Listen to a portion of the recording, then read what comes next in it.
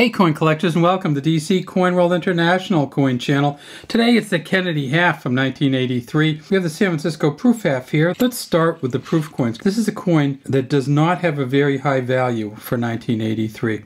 This is a deep cameo, the polish in the back and how Kennedy just jumps off the coin. It says Liberty at the top, in God on this side, we trust on this side and then 1983 down here, and an S there for the San Francisco Mint. We tip it up on its edge, we see that it is a copper nickel clad copper, so it's a copper nickel cladding on the front and the back, and then this 100% uh, copper center. 150 of these reeds as you go around.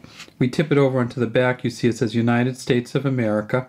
To top, half dollar at the bottom and then there's the eagle in the center. 50 stars going around the outside, 9 stars above the banner, 4 stars below, 13 for the original 13 colonies, olive branch in the right claw, arrows in the left claw, so for peace and for war or strength, and then it's a shielded eagle with a shield here. In 1983, they made 3.3 million of these at the San Francisco Mint. If you get this in a Proof 70 deep cameo, it's worth about $50.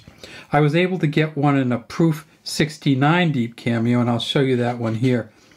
And so this is a Proof 69 Deep Cameo. It's actually been graded by PCGS. You can see that right here. So this is the second highest level you can possibly get. The only thing higher is a Proof 70. The Proof 70s go for $50, and this one, I'll show you the back too, because the back is just as spectacular. Even in this shape, almost the best you can get, it's only worth about $16 or less. That's all we have today from DC Coin World International Coin Channel. We'd love to have you subscribe to the channel and leave any comments you have in the comments section.